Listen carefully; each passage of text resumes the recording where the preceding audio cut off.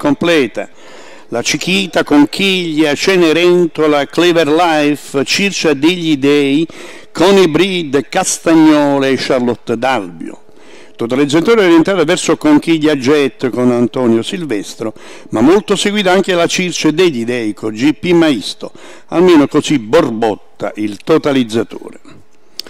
Arretrata Charlotte Dalbio, imitata da Circe degli Dei, che poi galoppa, galoppa Circe, prende velocità la macchina. E la corsa di Circe finisce qui, almeno sembra. Via la macchina.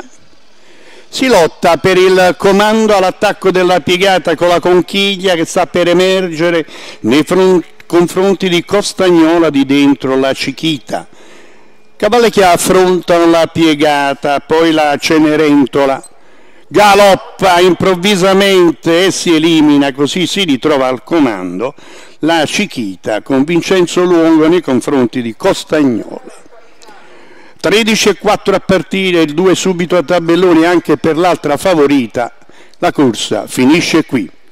31, ne rimangono in 5 e così ora può amministrare la leadership il buon Vincenzo Luongo, in terza posizione la Cenerentola per linee esterne la Coney Breed che tenta la risalita.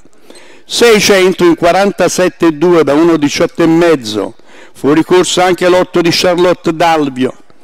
Le cavalle affrontano la penultima curva con la Cichita sempre a fare una discreta andatura e completa il mezzo miglio in 1,4 e un po' di spiccioli. E la figlia di Igor Font ora inizia ad allungare, prende vantaggio dalla Costagnola. Si migliora quella di Minopoli che va in terza posizione. 18,6 il chilometro, 14,4 di frazione. 500 giù di lì alla meta, le cavalle affrontano la curva finale.